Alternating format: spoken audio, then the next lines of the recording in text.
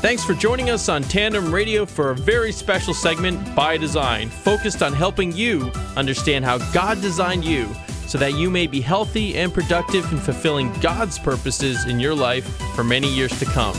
Now let's join our host, health expert and public speaker, Dr. James Proodian.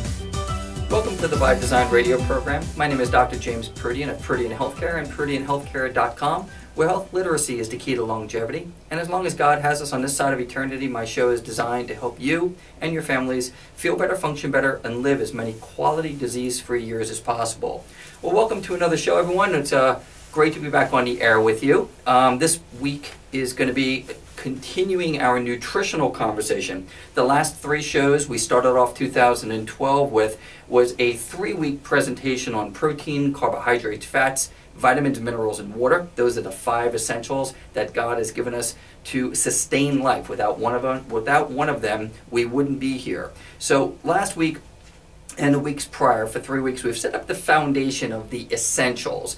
Some of the foods that uh, contain good sources of protein, carbohydrates, and fats we discussed. This we're going to continue the nutritional conversation for many weeks. I have a lot of information that I've written um, uh, for you. And this week is included. We're going to really continue on the topic, or I should say, the foundation of nutrition. And that foundation of nutrition, we're going to take a little bit deeper today within the foundation of protein, carbohydrates, fats, vitamins, minerals, and water.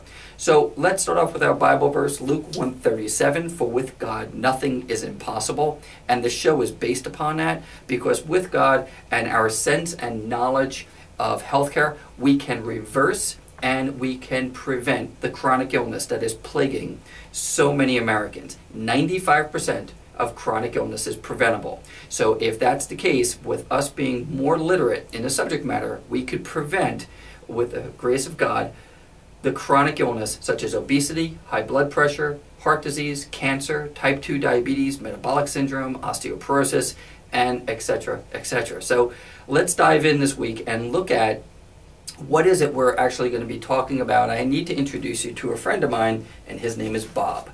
And Bob, about 100 years ago, when he invented the Industrial Revolution, when he came along, he started to invent food. Now, I'm not saying that this was the type of food, again, that was in the uh, Garden of Eden, uh, but God has inter- a man has intervened in God's plan and has created a lot of food that is not good for us. So today is all about awareness. Um, I have a slide that I show my audiences with, through one of my companies called Wellness at Work. That's my public speaking company. And it's a slide of a very busy parking lot. And I tell the story that in a busy parking lot, one day I was pushing my grocery cart in uh, the parking lot, and I had my three year old and five year old sons with me. I have five children. I had two of the five with me on this Saturday.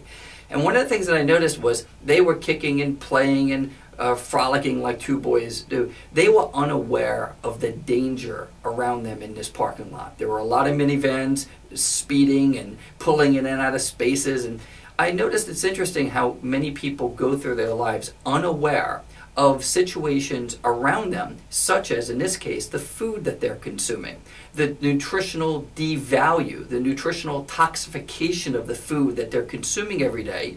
They're, they're awake and they're conscious, but they're unaware, just like my parking lot example, of how dangerous that food is because of Bob. Now, what Bob has done is he has very carefully, over the last hundred years, manufactured corn, soy, dairy, sugar, flour, processed food, and has changed the beef, pork, and chicken that we're eating every day. So the very biochemical nature of these God given foods has been manufactured, genetically modified into food that looks and resembles food, but inside of it, biochemically, our bodies are fighting like mad to prevent and uh, not so much prevent, but to um, take the biochemical nature of these foods and assimilate them in our bodies. Our bodies, just from a cellular perspective, don't recognize what these genetically modified foods are, and we got to start with corn. I mean, the corn that we have manufactured and put into so much of our food is so detrimental to our health, and that's one of the foods that we're going to handle. So let's look at it again corn, soy, dairy, beef, pork, chicken sugar, and I discussed with you, we're consuming 150 pounds of sugar per person per year in America now. Uh, we used to eat 15 pounds of the stuff. We're up over 150. Flour, particularly white flour, and processed food. So when we look at that bucket of what I just named, 90% of what Americans are eating are in that processed food, Bob made food. Now, we learned about proteins and what they are, right, for repair, growth, recovery. Carbohydrates are supposed to give us energy. Fats are supposed to give us some long sustained energy and some protection because it protects our organs. Vitamins, minerals, and the essentials of water and these amazing foods that we've been blessed with to give us energy to fight cancer. They have they have uh, uh, to prevent diabetes. It's all right there in the food. Yet we, as a nation, as a culture, and now as a world, have decided to manufacture foods better, or with the mindset that it's better, easier, longer shelf life than the foods that God gave us.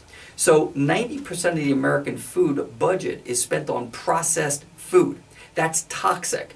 So if we go back to one of the earlier shows, foundational shows on detoxification, if 90% of what Americans are eating are toxic, we are living in a very toxic society.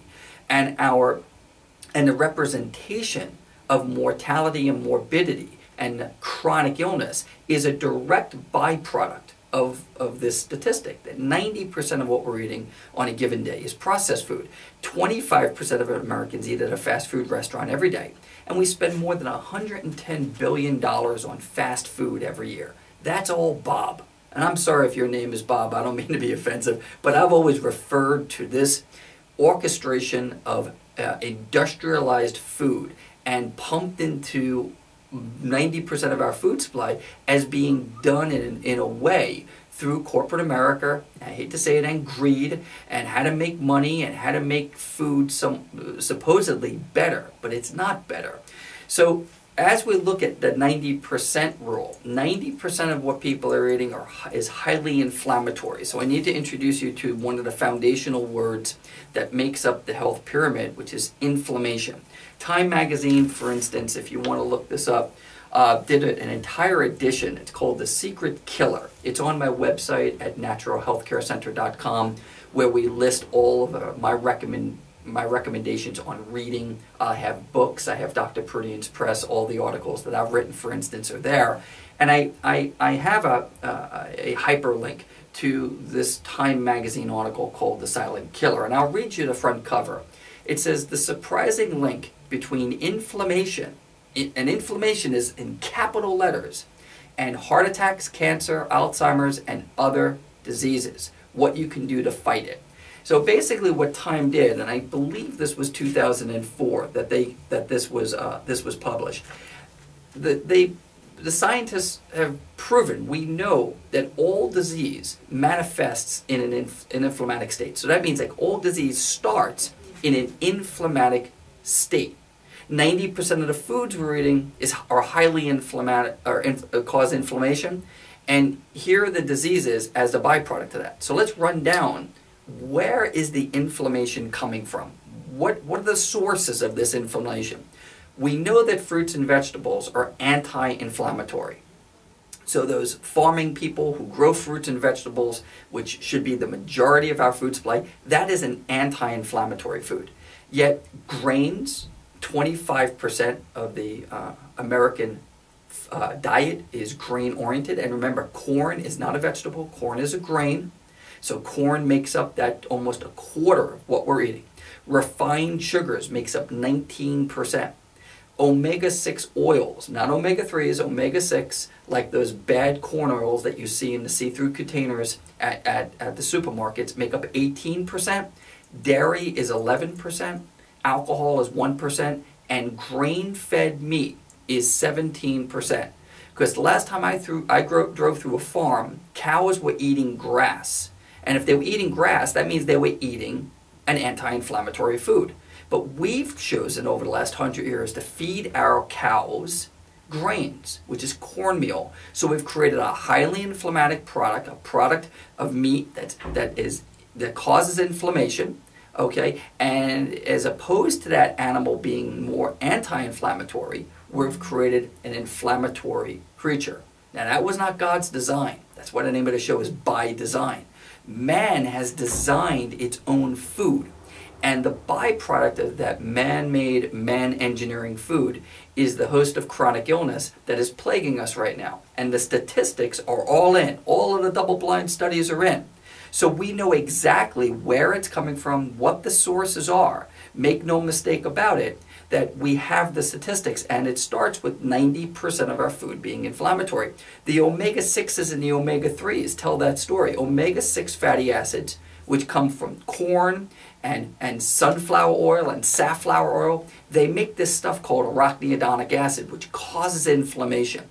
Now, that inflammation that's caused through these bad omega 6 oils, that's the oil that the manufacturers put in all of our food. The omega 3 oils, the EPA DHA, the fish oil, the flaxseed oil, oils that are found in walnuts, for instance, these are anti inflammatory oils, and we don't consume nearly enough of these God given oils that are very, very healthy for us. Now, when I say oils, because you listen to shows one, two, and three, you know what fats do for us. Oils are fat.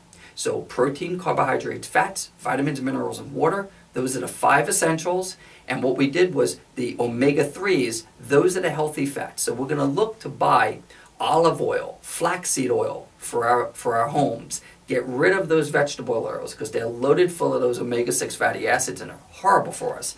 And inflammation inside the body puts 25 to 35 million Americans at risk for heart disease and stroke. Now, inflammation is far more dangerous than cholesterol. So we're going to end the show today's with understanding that inflammation, understanding inflammation, the effects of inflammation on our bodies, and how inflammation is the root cause of disease. You've been listening to the By Design radio program, and thank you for joining me, Dr. Proodian, for this episode. Uh, if you'd like to know more information about me and Proodian Healthcare, go to proodianhealthcare.com and feel free to submit any questions you have. Or, and I also ask all my, my audience to go to drproodian.com, uh, not Proodian Healthcare. That is my blog site. I write a weekly blog that comes out every Wednesday, and I'd love for you to subscribe to it. God bless you and have a great week. You've been listening to By Design with Dr. James Proodian of Proodian Healthcare. To learn more, visit us at tandemradio.com, that's tandemradio.com, or on Facebook. And don't forget to email us with your questions. We'd love to hear from you. In the meantime, hope you have a healthy week, and we look forward to you joining us next time for more fantastic insights from Dr. James Proodian on By Design, a special production of Tandem Radio.